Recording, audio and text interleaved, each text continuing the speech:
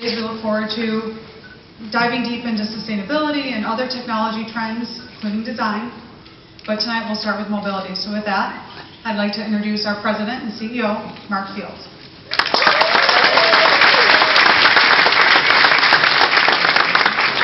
Well, welcome. You're glad to be in San Francisco? Oh, well, we could, there we go. Well, we couldn't be more glad for you to join us here and also in Silicon Valley, which is the newest hotbed of innovation for Ford.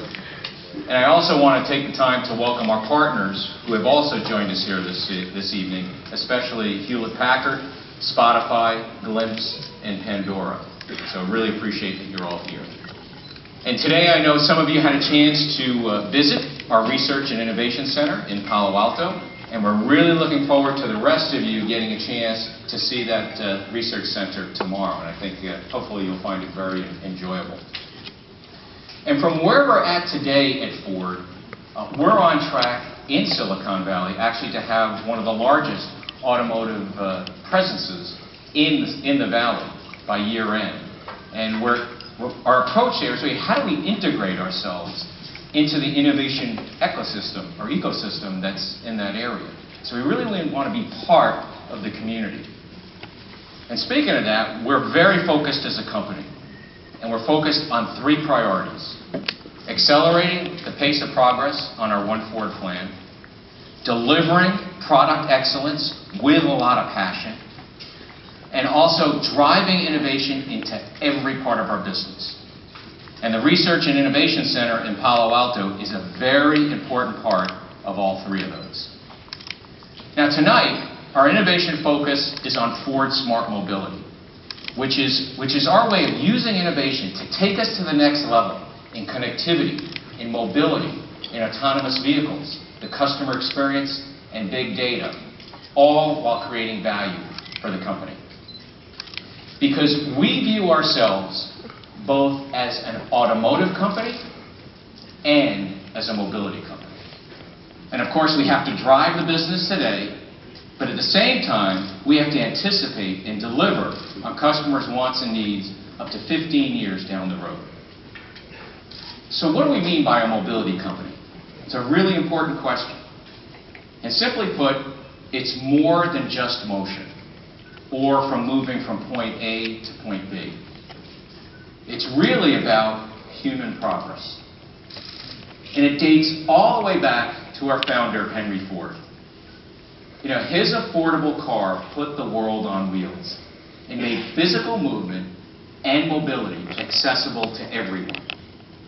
And it gave people actually the opportunity and the ability to pursue new experiences and expand their own economic opportunities. Because Henry Ford understood mobility is really about freedom. The freedom to choose where to live, where to work, and where to play. And that freedom of mobility helped make people's lives better for millions around the world. Now, for the past few years, our company has actually been warning that that freedom of mobility is now actually being threatened, particularly in light of the four megatrends that are affecting the future of transportation. So let's go through those. The first trend, urbanization and the exploding urban populations. You know, today, there are 28 megacities, and those are defined as populations with 10 million people or more. And if we go out to 2030, so less than 15 years from now, we expect to see 41 megacities worldwide. That's a lot of people. The second trend, the rapid growth of the global middle class. You know, the global middle class is expected to double again by 2030, growing from 2 billion people all the way to 4 billion people. Now, Asia is going to drive a lot of that growth, but many in this middle class aspire to own a car. So that's just going to create additional challenges. The third trend, the health risk due to poor air quality and congestion. Nobody wants to breathe bad air quality. And finally, the fourth trend, changing customer attitudes and priorities regarding vehicles and transportation in general. So rather than sit back as a company and let's continue to study or let's worry about these things, at Ford, we're doing something about them. Because we see this as a huge opportunity, just as big as Henry Ford had in his day over 100 years ago. Because what we're seeing is software and connectivity technologies are driving vehicle innovation faster than ever. The clock speed on this stuff is incredible. And new, non-traditional partners and also competitors are now very, very interested in our business. And at the same time, we have a new generation of customers who are using technology to make their lives easier. And that's where Ford Smart Mobility comes in, linking us both as an automotive and a mobility company. And back in January, we announced more than 25 global experiments. And we set out to learn what the future of transportation should be, and also what we need to do to change the way the world moves, just as Henry Ford did it 100 years ago. Now, what's happened? Well, we have learned tons in the past several months. And tonight, we're sharing five areas of news with you. So the first area of news is what were the key learnings tied to some of these initial experiments? So let's talk about the first one. It's called Dynamic Shuttle.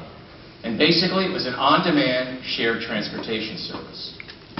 And what it revealed is how we could provide great customer in a shared van ride service using uniquely modified vehicles. In this case, it was a transit van. And we did it for test customers both in New York and in London. And here was the exciting discovery people's attitudes on sharing. You know, people felt it was a positive, and in some cases, they actually celebrated it. Here were the five wants that we learned from folks. First, they wanted guaranteed maximum fares and travel times. They wanted some certainty. You know, they wanted adequate, uh, adequate you know, personal physical space. They didn't want to sit right next to the, the guy who didn't take a shower last night. You know, they wanted Wi-Fi. They wanted USB charging. And they want some storage for some of their small bags. So let's take a look at the vision. Our hypothesis was that people would like to use this service to be picked up from their front door and taken to the door of their destination.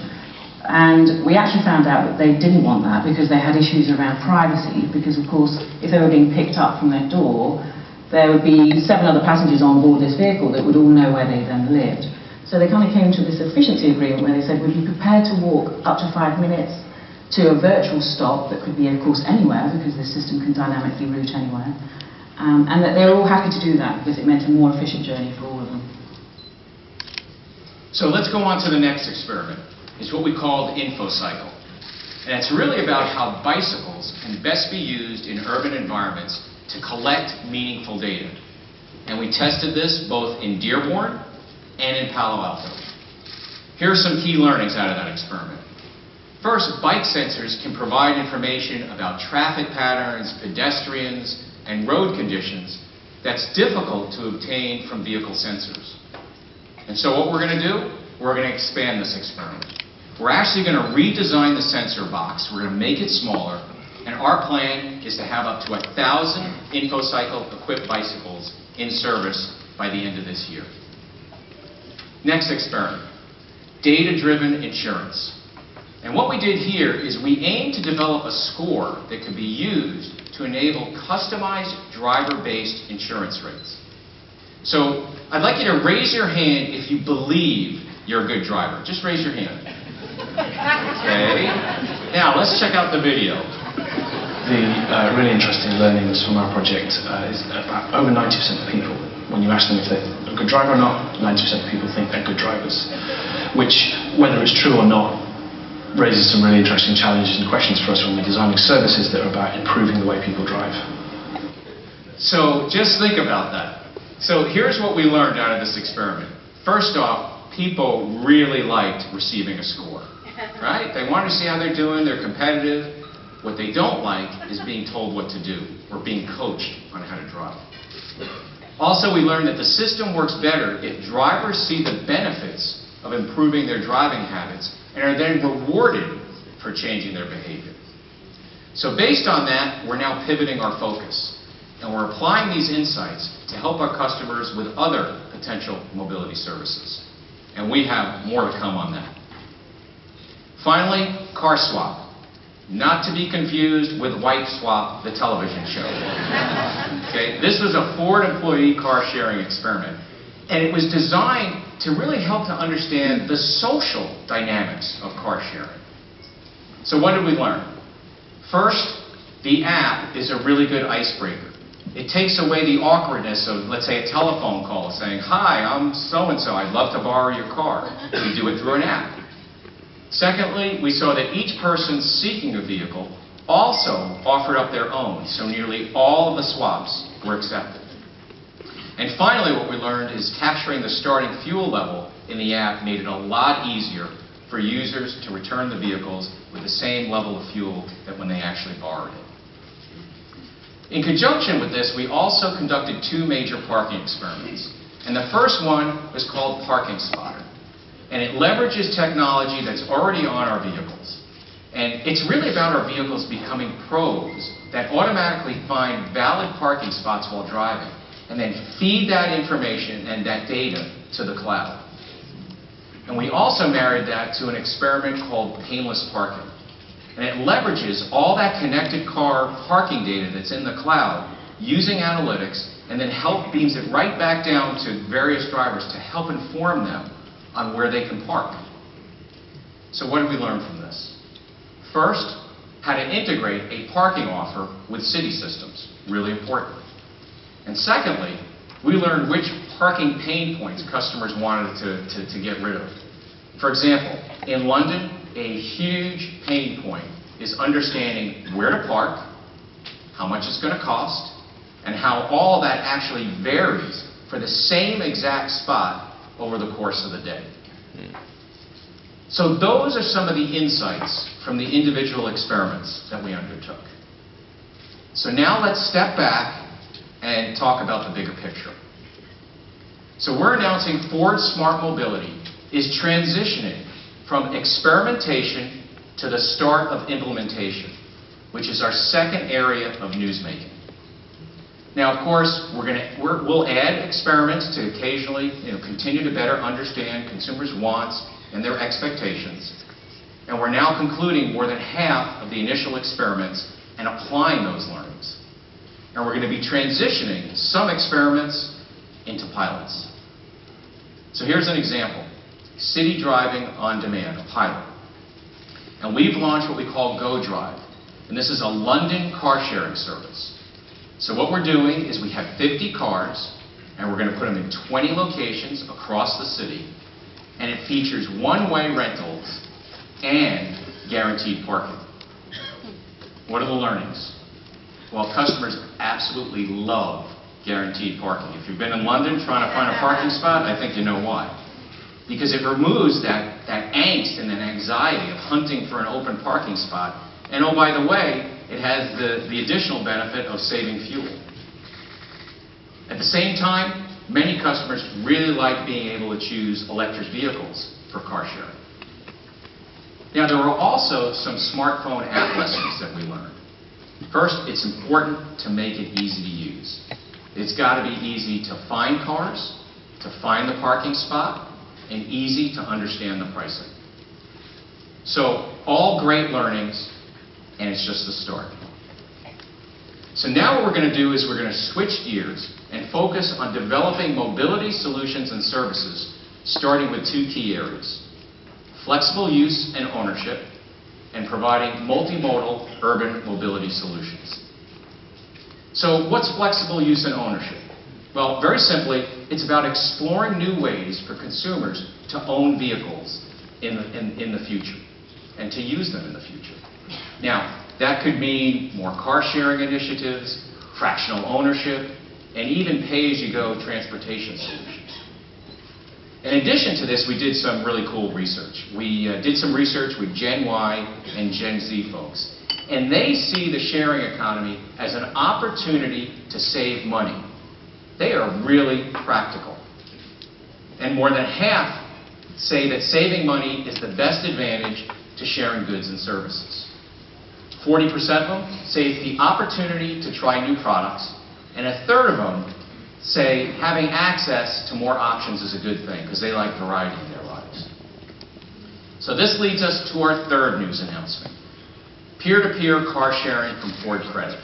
And we're really excited about this. Because what we're doing is we're providing customers the opportunity to rent their vehicles to others for short-term use. And that way, they can save and they can earn some money. Now, we're partnering with GetAround in the US and Easy Car Club in London. And what we're going to do is we're going to open this up to 14,000 uh, customers in six cities in the US and 12,000 customers in London. And the sign-up runs through July 31st here in the US and through August 1st in London. So think about this, how, how would you want to picture it? Think about this as Airbnb for cars. Finally, multimodal urban mobility solutions. You know, in many cities, driving your personal vehicle from home to work simply doesn't work for people. And the journey might take two, three, or more different, actually, modes of transportation. And it really is a growing challenge. Because if you just look at the metrics, the world population is going to rise to 9 billion people by 2050. And that's up from 7 billion folks in 2010. And people living actually in cities is going to climb from 50% to 70% of the population in that time frame.